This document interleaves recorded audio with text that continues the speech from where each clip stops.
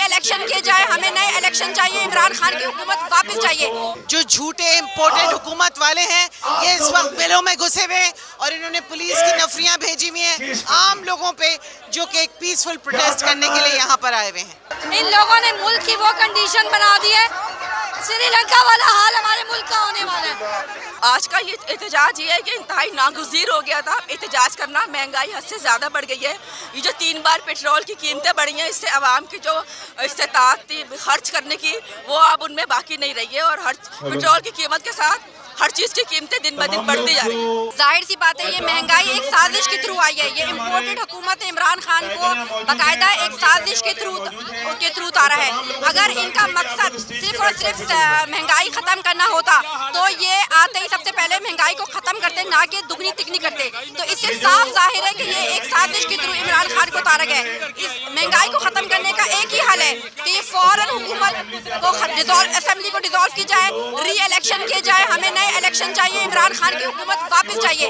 जो नया पाकिस्तान था, हमें वापस चाहिए। कम अज कम उसमें दो वक्त की रोटी तो मिलती थी ना। मैं सिर्फ़ यही कहना चाहूँगी कि ये जो एहतजाज हम जिस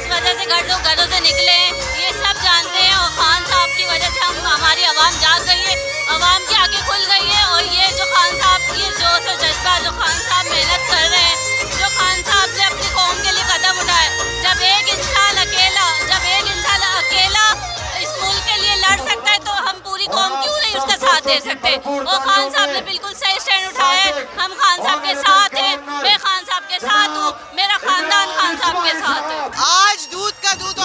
आ, पानी का पानी अलग हो गया। है एक सच्चा लीडर जब अपनी कौम से खिताब करता है और जब अपनी कौम को सच्चाई बताता है तो ये सब जो झूठे इम्पोर्टेड हुकूमत वाले हैं ये इस वक्त बिलों में घुसे हुए हैं और इन्होंने पुलिस की नफरियाँ भेजी हुई हैं आम लोगों पे जो कि एक पीसफुल प्रोटेस्ट करने के लिए यहाँ पर आए हुए हैं।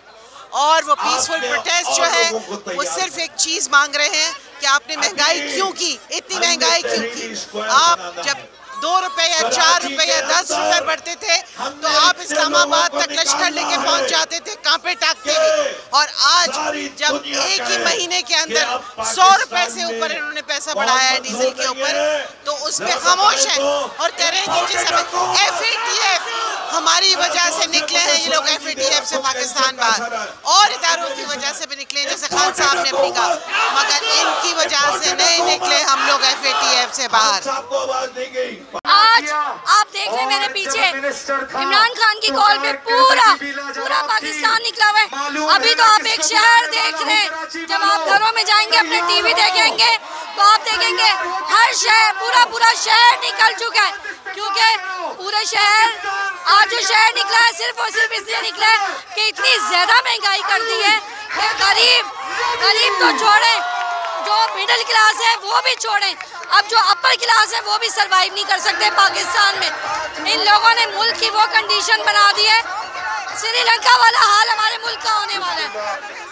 और आगे, अगर आगे इन लोगों को ख़त्म ना किया गया, इमरान खान साहब को दोबारा ना लाया गया तो दिन ब दिन हालात बेहतर जो बेहतरी हुई थी, वो ख़राब होती जाएगी।